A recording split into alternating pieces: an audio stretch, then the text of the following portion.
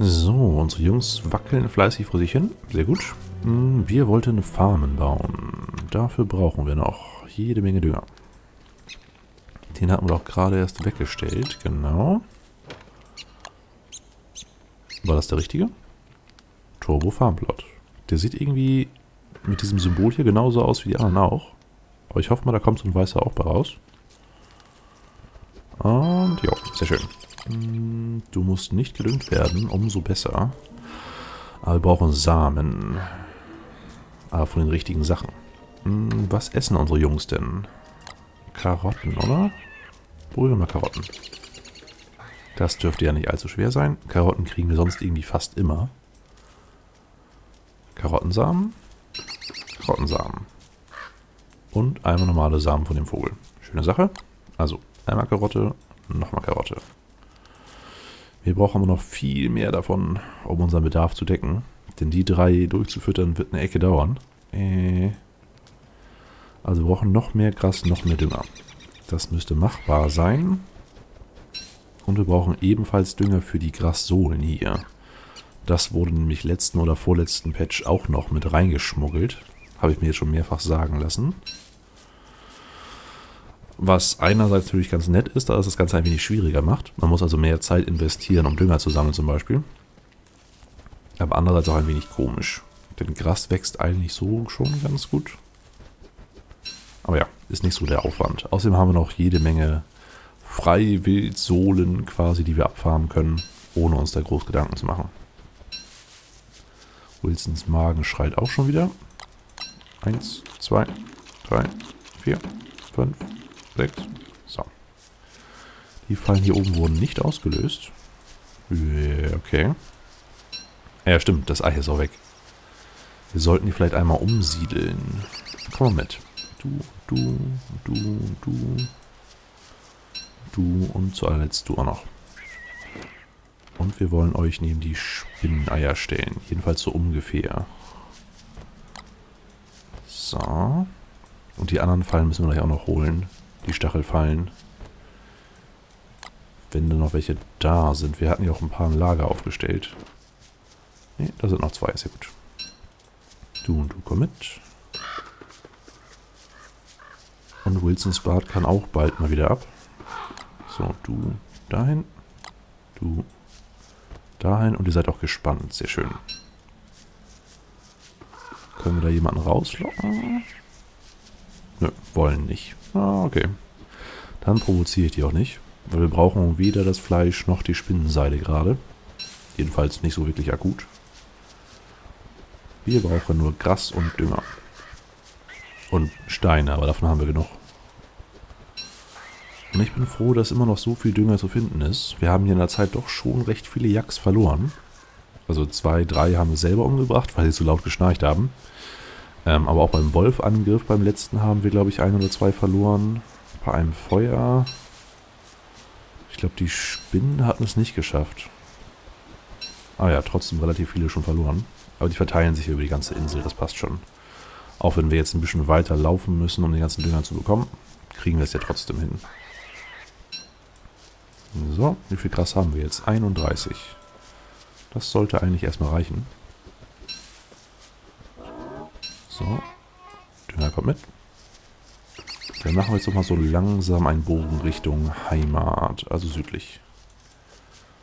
Mit gelegentlichen Umwegen, um Dünger aufzusammeln. Blumen ignorieren wir, Gras können wir auch ignorieren. Und da würde ich gleich gerne noch mal was testen.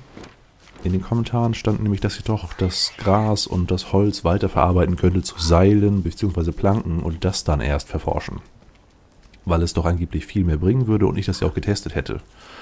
Eigentlich bin ich mir ziemlich sicher, dass ich das getestet hatte und es war nicht so, dass es mehr brachte. Aber das ist ja auch schon wieder zwei, drei Patches her, also kann da was geändert worden sein. Das heißt, das probieren wir gleich auch mal aus. Stöckchen können auch mal alle mit. So, es wird spät, richtig? Dann schmeißen wir mal einen davon da rein. Ich glaube, acht brauchten wir noch für den, ne? Ne, nur sechs. Gut. Also noch zwei Dünger da rein. Rest wieder in den Rucksack. Und die Turbofarm bitte dahin. So. Äh, das Fleisch kann in den Kochtopf. Die Jungs können wir gleich aufheben. Die werden nämlich sofort anfangen zu frieren, sobald es dunkel wird. Und ich glaube, wir können sie jetzt schon ans Feuer legen, ohne dass sie anfangen zu schwitzen. So, nicht essen, nicht braten, einfach nur hinlegen. Sehr gut. Äh, genau, jetzt wollte ich testen, wie es mit dem Holz ist. Also, für Bretter brauchen wir vier Stück Holz. Wir nehmen ein Stück Holz und verforschen es. Wir sind bei 175. Äh, wow. Das bringt sechs Punkte. Okay. Dementsprechend müssten vier Bretter in Form eines Holzes 24 bringen. 24 wären 205. 208. Okay, es wurde gepatcht und es bringt drei Punkte mehr. Dafür muss er aber auch eine Weile rumhantieren, um das Ganze herzustellen. Aber ja, allgemein rentiert es sich wohl inzwischen schon. Gut zu wissen. Äh, die Samen werden nochmal aufgegessen. Ein paar neue werden gekocht. So.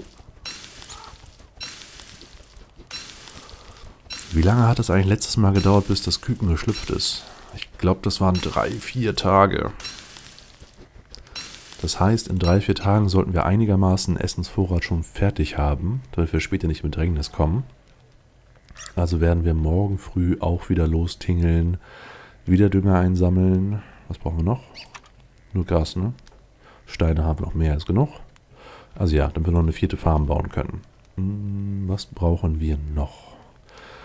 Wir brauchen langsam wieder ein bisschen Fleisch. Also können wir entweder Hasen jagen gehen oder ein paar Käfigfallen bauen. Also wir haben ja oben schon im Nordosten irgendwo ein paar von den Käfigfallen für die Vögel hingestellt, weil die sonst zu viel Radau machen. Aber die könnten wir noch ein wenig ergänzen. Was haben wir denn da? Käfigfalle, da brauchen wir vier Spinnennetze für. Nö. Das mache ich doch nicht. Die Spinnennetze sind zu schwer zu bekommen. Und ja, wir haben momentan 26, aber das heißt nicht, dass es schwer ist, äh, das, ist, das heißt nicht, dass es nicht schwer ist, sie normalerweise zu bekommen. So, so ist es richtig. Äh, wir haben 21 Büffelwolle. Wie viel brauchen wir für den Hut? 16. Oh, sehr schön. Haben wir inzwischen nur Forschungspunkte. Ein Winterhut. Oh, oh, oh, die Jungs schwitzen. Sehr gut. Äh, ist der Winterhut neu? Ich habe das gerade verwechselt mit dem Büffelhut. Also wir haben... Stopp, stopp, bleib stehen. Wir haben hier unseren Winterhut. Der braucht äh, vier Büffelfell nur und vier Spinnenseile. Wir haben hier irgendwo noch Daperwest, Spinnenhut, Strohhut. Da haben wir den richtigen Büffelhut. Hm, also wir können uns beide leisten. Und der kostet nur 30 Forschungspunkte. Das ist ja echt nicht viel. So, Büffelhut. Zack. Das sieht doch schon mal sehr imposant aus. Um nicht zu sagen lächerlich. Und Ingia meinte, wir könnten jetzt Büffel reiten. Das wage ich irgendwie zu bezweifeln. Denn es wäre einfach nur zu cool, wenn das ginge. So, Büffel, wo bist du? Wir sollten den Speer aus der Hand nehmen, dass wir den nicht aus Versehen pieksen. Und da ist ein Büffel. Das ist ein Büffel. Du willst mich jetzt aber nicht bespringen, oder? Folgst du mir? Nein. Also er starrt mich irgendwie ganz komisch an. Da wird mir unheimlich. Machst du das ohne Hut auch? Ich gehe mal ohne Hut ran. Ne, starrt mich auch ohne Hut an. Können wir den Hut aufsetzen? Nein. Hm können die Dinger verschieben. Ist auch nicht schlecht, aber das konnten wir auch schon vorher. Ich sehe nicht so wirklich, was der Büffelhut bringt. Vielleicht verteidigen sie uns jetzt eher. Hm. Müssen wir später noch ein bisschen mit experimentieren. Fürs Erste soll es uns reichen, dass wir das Ding überhaupt erstmal haben. Kommt in unsere Hutsammlung dann ist gut. Solange wir die Zeit und Geduld haben, rauszufinden, wie das funktioniert. Das kommt jetzt erstmal alles mit. Noch mehr Dünger. Und danach probieren wir mal diesen Weihnachtshut aus. Der brauchte ja auch Büffelfell. wo ist der Weihnachtshut? Taper West, Büffel. Ah, dann brauchen wir das Forschungsding jetzt wieder für. Ja, okay. So, Büffelhut weg. Das Ding so. Und in drei Tagen kommt schon wieder der nächste Patch. Mal gucken, was sie sich da einfallen lassen. Das geht ja immer noch recht schnell bei denen. Hätte ich nicht gedacht. Normalerweise ist ja den ersten paar Wochen tierischer Hype drumherum. Gerade wenn die Verkaufszahlen gut sind. Und sobald äh, fast jeder das Spiel hat, der es dann haben möchte, hört es mit den Patches komischerweise auf. Und hey, unser erster ist geschlüpft. Sehr schön. Hallo, Smallbird. Willst du einen Samen? Jo. Die essen also einfach nur rohe Samen, das ist auch gut. Zack, Nummer 2. Nummer 3 müsste dann auch gleich schlüpfen. Nein! Ach du... Das ist nicht gut. Schon sind unsere Jungs nur noch ein Duett. Das Fleisch können wir trotzdem mitnehmen. Ähm, ja, das Ding verstauen wir jetzt mal irgendwo. Und wir müssen daran denken, dass wir nicht in die Nähe von den Spinneneiern gehen, weil da noch mehr Fallen sind. Das finde ich aber ganz schön mies, dass unsere eigenen Handlanger quasi unsere Fallen auslösen. Das hätten sie geschickter lösen können. So, isst ihr auch Karotten? Nein, sie essen keine Karotten. Okay. Das können wir uns also auch sparen. Hauen wir einfach ein paar normale Samen da rein. Da und da. Und die anderen beiden kriegt ihr zu essen. So, du und du. Jetzt müsste jeder mindestens einen gehabt haben. Einer sogar zwei. Und jetzt laufen wir mit den beiden einfach ganz normal rum, wie bisher auch. Und warten, ob die irgendwie größer werden. Fleisch mochtet ihr nicht, richtig? Nö. Mögt ihr einen Büffelhelm? Oh, wir können denen was geben. Setz mal einen Büffelhelm auf. Nö, will er nicht. Willst du dir einen Footballhelm? Die Geben-Option irritiert mich ein wenig. Also irgendwas werden wir ihnen geben können. Wir können sie angreifen. Nein, danke. Einen Hasen wollen sie nicht. Zack. Damit können wir sie auch nur angreifen. Angreifen. Oh.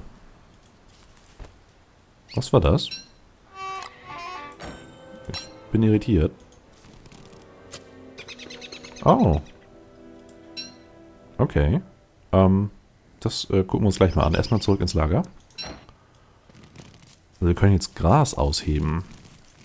Also nicht das Grasgras, sondern den Bodengras.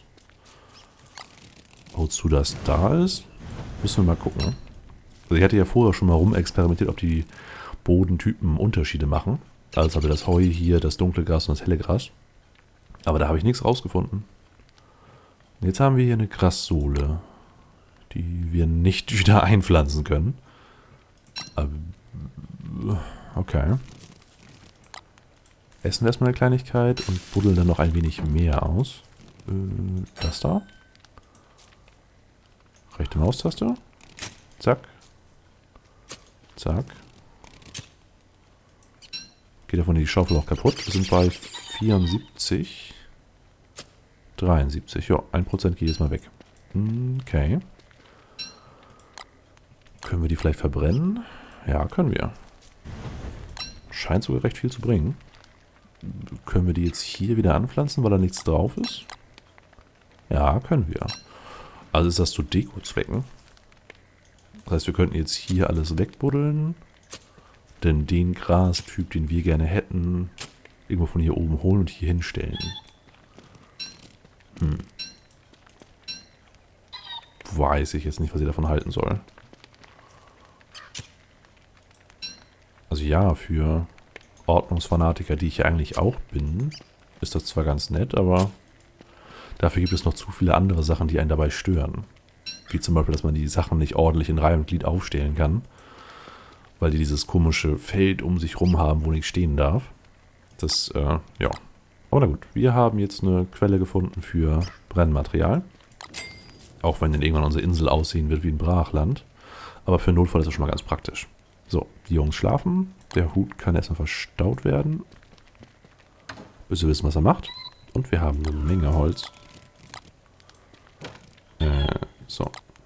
Ich will jetzt keine Waffe in der Hand haben, damit wir nicht aus Versehen unsere Jungs angreifen. Und hätte gerne ein wenig Holzbretter.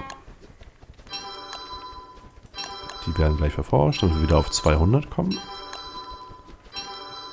So. Die werden nachts irgendwie immer wieder wach.